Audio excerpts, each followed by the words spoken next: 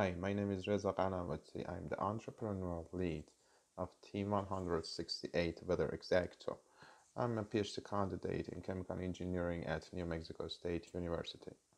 My teammate, Parinaz Mansourimajoumerd, is our business mentor. She has expertise in building energy management projects.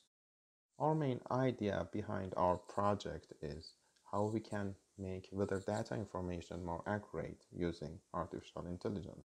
Our hypothesis was by making weather data information more accurate using our product, we could help researchers or other potential customers that use uh, weather data information.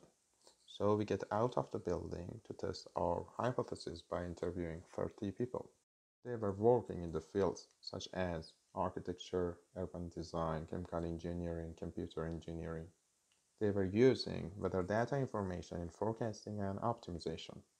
They use weather data information as an input of software such as uh, Grasshopper plugins, Ecotect, Energy Plus, Design Builder, MATLAB, and other uh, programming software. The majority of interviewees declared that there are errors in the weather data information and this error will give them unreliable results. Also, they said that, especially in underdeveloped countries, lack of enough weather stations will um, lead to weather data filed with existing errors. We found out that the majority of interviewees are using weather data filed with existing error because they are free.